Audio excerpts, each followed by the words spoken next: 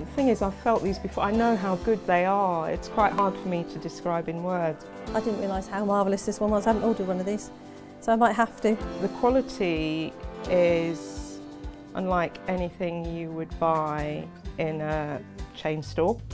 They are to die for. They are just so soft, so beautiful. The colours are amazing and vibrant, and they just make you feel luxurious. You can feel the quality it, it feels like a natural fibre, um, and that's what appeals to me the most, that it, it is um, made out of something natural and you can just feel the quality in it.